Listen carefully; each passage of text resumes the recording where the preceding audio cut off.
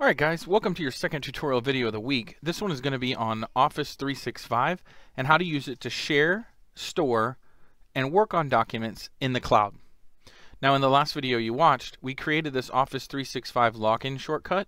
Yours might have an E for the logo and that's fine, or it may have this logo which is the Google Chrome logo.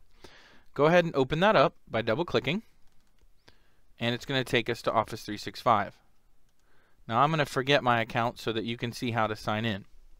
In this case, you're going to sign in with your student number.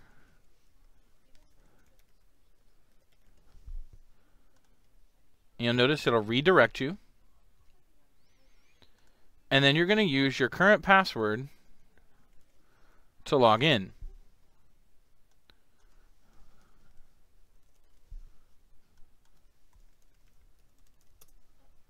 All right, once you sign into Office 365, you should get this particular screen that comes up. Now you may have less icons than I do, and that's fine because I'm a teacher and you're a student and we have access to different things. But in this case, we're going to click OneDrive. Now you notice I have a lot of files and different options and folders and different things that are in here, and you may have nothing in here yet at the moment.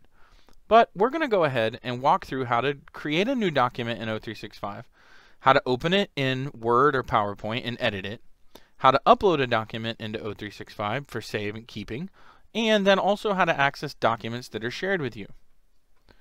Let's start with accessing a, creating a new document inside of O365. Now you remember in the last video we made a system of folders to store what we've been using for our different classes. I would recommend that you do the same thing here click a new folder, click new, and choose new folder. In this case, I'm going to call it period 1 social studies.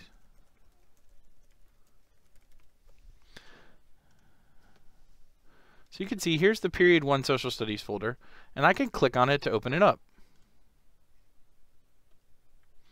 Now remember, the only reason you would need to create documents in O365 or Office 365 is if you want to collaborate with another student in your class or in another period on a project you're working together. If it's just an assignment that you're working on yourself, you can store that on your computer, or you can also upload it into Office 365, and we'll go through that in a second. But if I want to create a new document, like for example a new PowerPoint, I'm going to click New, and then choose PowerPoint.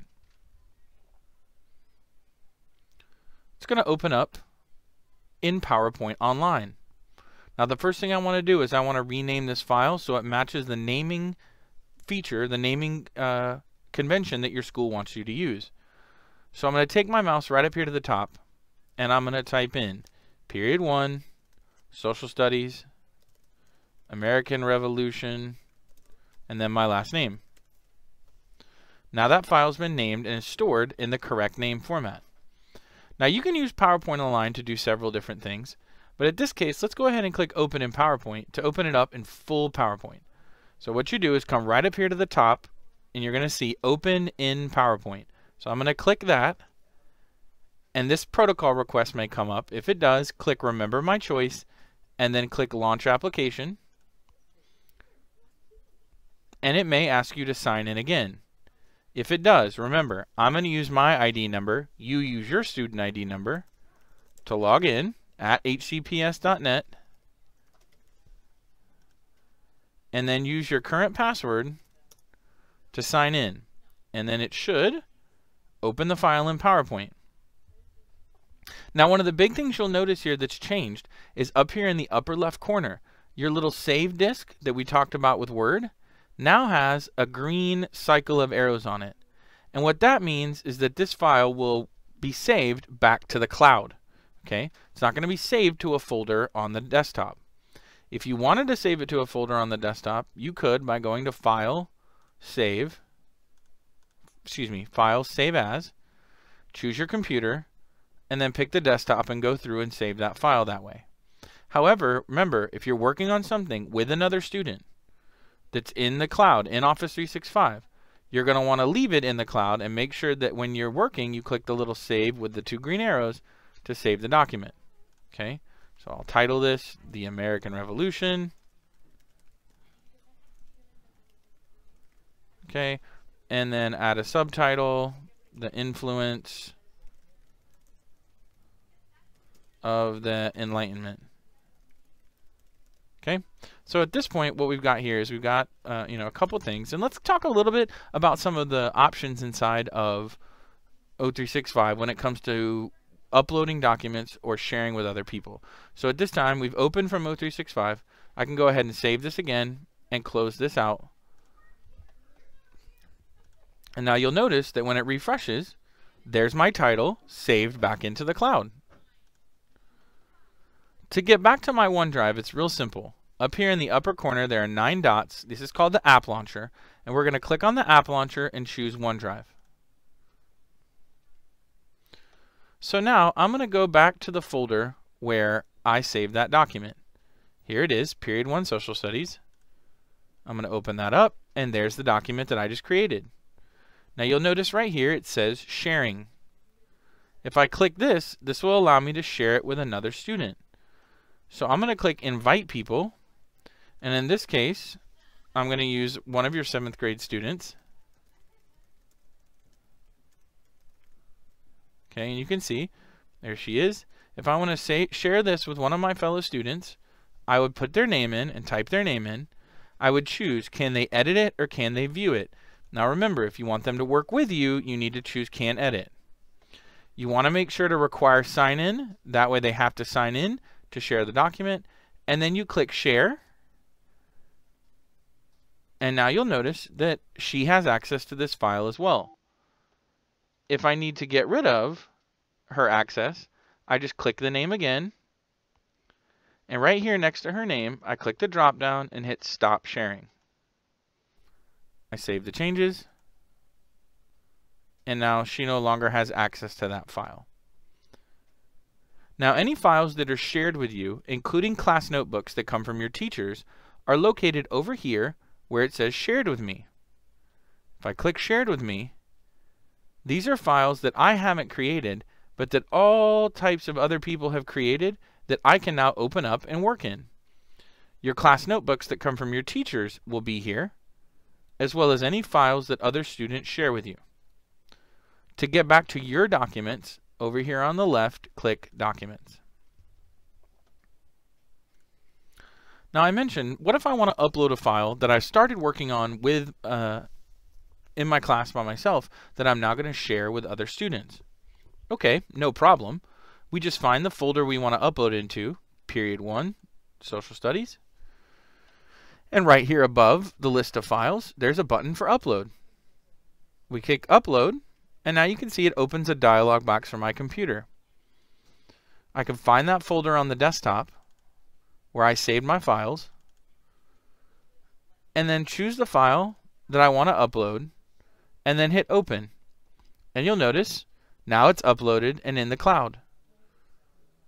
So at this point, what you need to remember is I've got a version in the cloud and I've got a version on the computer. If I want to share this one with another student, I can by using the sharing button. But remember, those changes will not be saved to the one that's on my computer. Those changes will only be saved to the one that's living inside of Office 365. So if I was to come in here and make a change, and hit save, it would only be saved to the one online, not to the one that I originally uploaded. That's a big thing to remember because as you're making changes and working collaboratively with other students, you need to make sure that you're working in the correct one. So if I was working on a file by myself, no problem. I'll use the one on the computer until I'm ready to share it. Then I upload it into Office 365 but then remember, if I want to access it again and make sure that my changes are seen by my partner or by my group, I need to come back into Office 365, click on the file, and then click Edit Document or Open Document and choose Edit in Word or Edit in PowerPoint.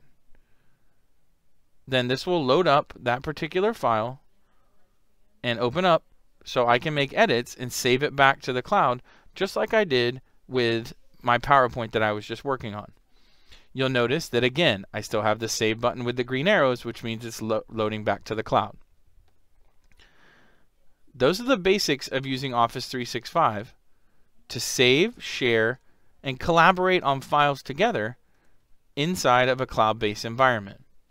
You are going to have a mini assessment to do, so in a second, read the mini assessment, and you're going to have to create a file in Office 365 and share it with one of your friends.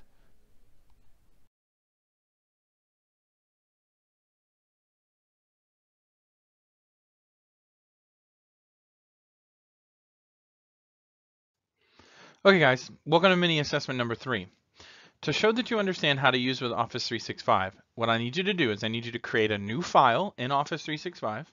Make sure you use the name, like we've been showing you, to name the file with a specific name, period, you know, your period, the subject, the assignment that you're working on, and your name. And then I want you to upload it into Office 365. And then I want you to share it with a classmate or a group that your teacher has provided you. Okay. Remember, if you have any questions about how to use Office 365 before you ask your teacher, go back in this video, rewatch the portion um, on what you need to know how to do, whether it's accessing Shared with Me or uploading or creating new documents. And then if you still have problems, have your teacher come over. Okay. To complete mini assessment three, just to remind you, you need to create a file in Office 365, name it correctly, and share it with a partner or group that your teacher has provided you.